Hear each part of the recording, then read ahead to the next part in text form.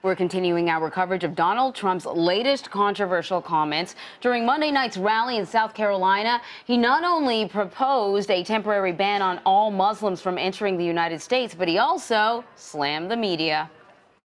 The mainstream media wants to surrender the Constitution.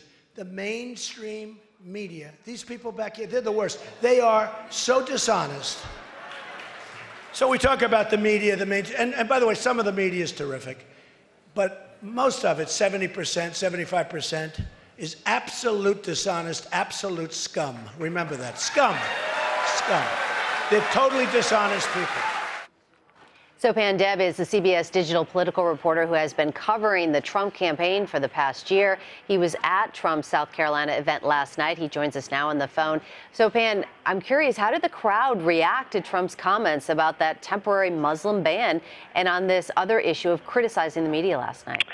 Well, the crowd reacted with long, sustained applause. Uh, many of them loved what they were hearing, no question. And look, Donald Trump's rallies are a little different than other candidates' rallies.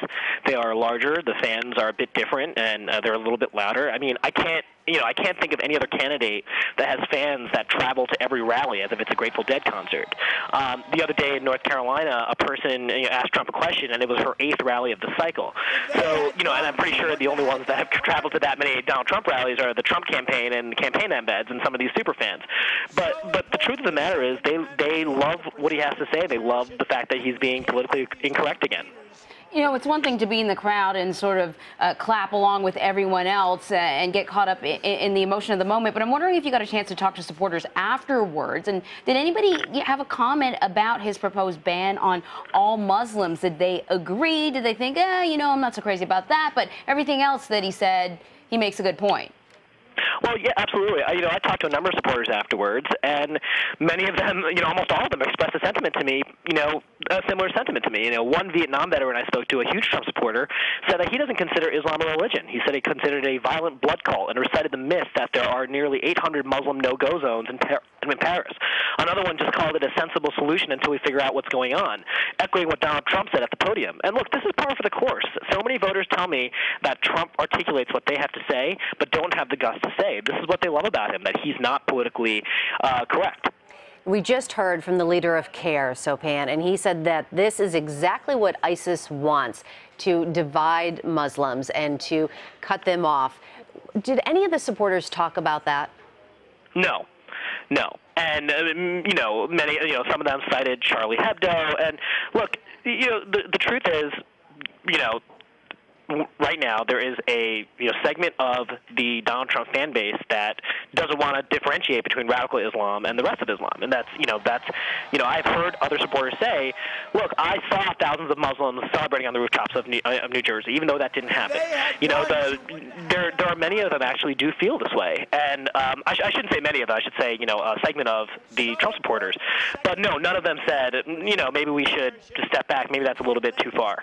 Can we talk a little bit about uh, Trump's criticism of the media? You know, he throws all kinds of words around. Media scum, they're dishonest. But then, you know, if you watch this morning, he pretty much hit up every show that he could yeah, to explain his comments. Yeah, and he was on for a long time. But clearly, this must work uh, when he's uh, sort of out there campaigning with with the crowd, uh, ripping the media apart. It, absolutely works. Look, his fans hate the media, and his fans also hate the political establishment. And as far as they're concerned, the media is kind of part of that. So Trump can whip up the crowd and get some easy applause out of it. But more importantly, he can paint himself as not politically correct, won't back down from anybody, including the media, and paint himself as kind of this anti-establishment conservative, which in this election, as you can see, is very, very attractive. Now, I want to go back to what Anne Marie was saying, in that it's easy to get caught up with the crowd. But I'm just curious, when you talked to people leaving this event last night, there you couldn't find even one person that disagreed with him at all? No. I mean, one person said he wants to read a little bit more about the proposal. Um, but no, uh, no. The they're you know, diehard again, fans. This is a crowd of you know five. You know, I didn't talk to all you know thousands and thousands of people that were there, but no, I, there was there was nobody there that. In fact, actually, you know, while we were sitting in the press risers, multiple people actually approached me and said, you know, he was right about what he said. These mm. are people that I didn't even seek out to talk to. They they came up to me. Um, so you know, there's a reason that he received the sustained applause that he did. The crowd loved what he had to say, mm-hmm. and and this is something Trump himself has referenced on the morning show interviews he's done this morning. Sopan uh, Deb, embedded with the Trump campaign on the phone with us, thank you very much.